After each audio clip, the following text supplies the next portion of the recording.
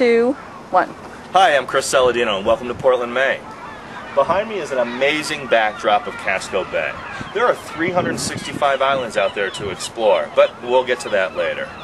You know, Portland was recently voted most livable city by Forbes magazine. I mean, for those of us who live here, I mean, come on, we already knew that. What took you so long? But seriously, we love Forbes, we're honored, and of course we agree. And for those of you from away, I mean, it won't take you very long to come to the same conclusion. You'll take a stroll down a cobblestone street, you'll breathe in the fresh saltwater air blowing in from the bay, or jump on a ferry and be to an island within six minutes. So stick around, because we're going to get you out there, show you how to catch your own live Maine lobster.